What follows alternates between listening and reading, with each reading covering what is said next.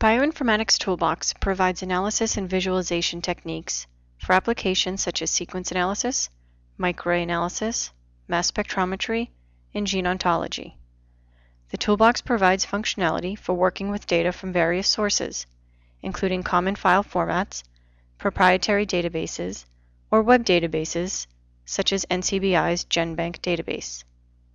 Sequence analysis tools allow you to gain insight into the sequences, displaying calculated statistics or characteristics of the sequence such as open reading frames. You can compare sequences using multiple sequence alignment and phylogenetic tree analysis. The Multiple Sequence Alignment Viewer allows you to interactively view and edit multiple alignments. The phylogenetic tree features allow you to compare sequences and see how they are related. You can annotate a graph to show relevant information, such as virus origins, and you can create publication quality figures. An interactive tool is also available for working interactively with the trees.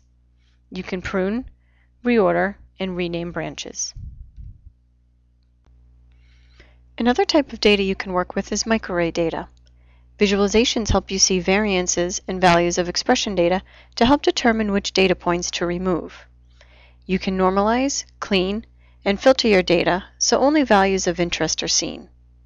You can perform statistical methods, such as a t-test, to identify differentially expressed genes and to prove that your underlying assumptions for using a t-test are correct, such as the t-scores being Gaussian. Advanced visualizations, such as this volcano plot, can help you gain deeper insight into your microarray data. You can access more information on these genes by linking out to an external database. You can take a set of genes and determine if they are functionally related using gene ontology.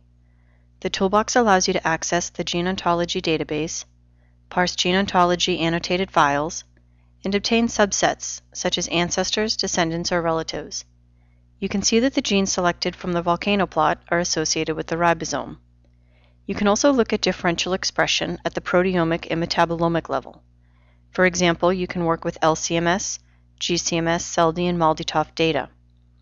You can use functions in the toolbox to correct problems that prevent accurate differential analysis such as drift in the chromatographic dimension. There are additional resources available to help you learn about Bioinformatics Toolbox. The Bioinformatics Toolbox product page includes over 45 demos and several webinars. Full product documentation is available directly from the product page.